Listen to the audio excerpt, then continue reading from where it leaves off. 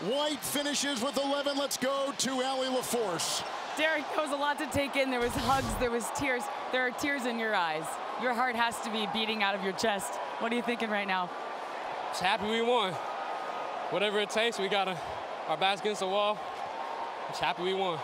There were games that your team talked about, hey, we let our guard down. If this isn't a reminder to never let your guard down again, I don't know what would be. After this, what have you learned?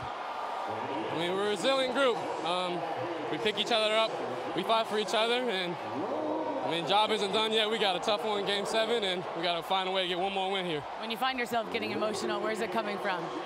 I'm just happy. We ain't done yet. Tears of joy. So far, so good. All right, congratulations. We'll see you in Boston. Thanks for watching ESPN on YouTube. For live streaming sports and premium content, subscribe to ESPN Plus.